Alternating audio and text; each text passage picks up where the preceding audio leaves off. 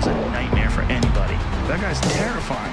Tony Ferguson, the longest winning streak in the UFC lightweight division, 12 straight fights. He's a brilliant madman, one of the most creative guys to ever step into the octagon. He has beat the very best the UFC has ever seen. He has an unstoppable will to win.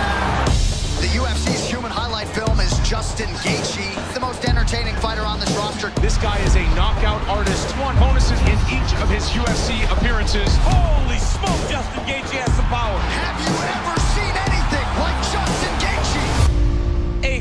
Between Justin Gaethje and Tony Ferguson. It will guarantee fireworks.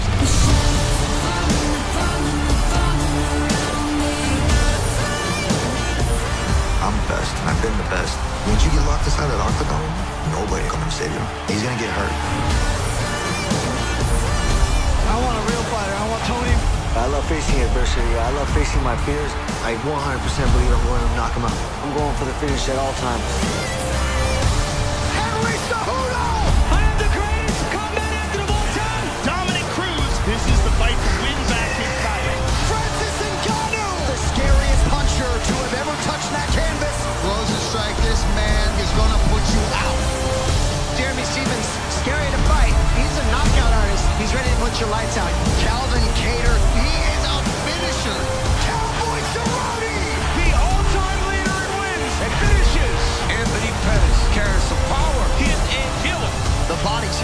when Greg Hardy connects. This is bombs away, ladies and gentlemen. Yorgan De Castro. A one-punch knockout machine.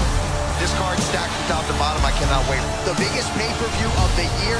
This is a massive event. The world will be watching.